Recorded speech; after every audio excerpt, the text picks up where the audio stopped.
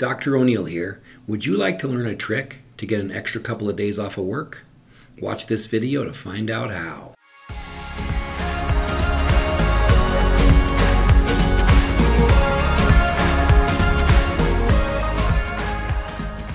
Let's talk about the periods or stages of disease.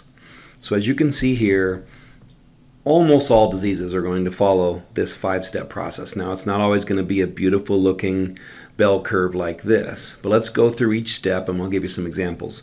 So first on the far left here, we have the incubation period. This is a period of time when you are in, you are infected, but you don't have a disease. So you've been colonized by an organism. It's increasing in number, but you're not actually sick yet. So this could be as short as a few hours for something like cholera. It can be maybe a day or two for the common cold, uh, two or three days for influenza, five years for leprosy, up to 10 years for HIV. So this incubation period can be very, very long or very, very short. But during this period of time, you've been infected, but you don't have a disease. A disease is actually when your body is having trouble maintaining homeostasis. So you're going to have signs or symptoms. So incubation period, just remember, infected, no disease. The prodromal period is where you're going to have mild signs or symptoms. Maybe you're just kind of tired. Like personally, I know that if I get a couple good nights sleep and I'm still tired, I know my body's fighting something.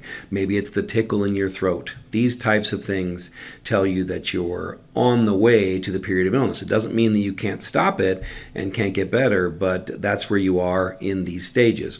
The period of illness is when you're getting very, very sick. You now have a disease, you're as sick as you're going to get the period of decline, you're still very sick, but you're getting better. You can tell that you've turned a corner. And then we have the period of convalescence. So, convalescence basically means regaining your strength. So, you're feeling quite a bit better, but you're still tired. You're still wore out.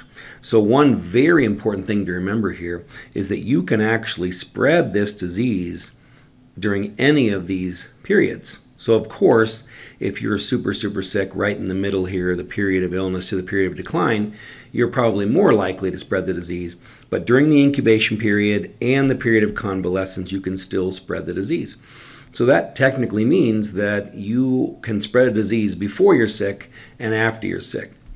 So feel free to try calling your boss and saying, you know, I really feel like I'm going to be sick uh, in a day or two, so I should probably stay home and rest. Or call your boss and say, I'm feeling better. I'm 99% better, but I need to convalesce. I need to regain my strength and see how that works for you. All right. You know more. Go be more. Go change the world.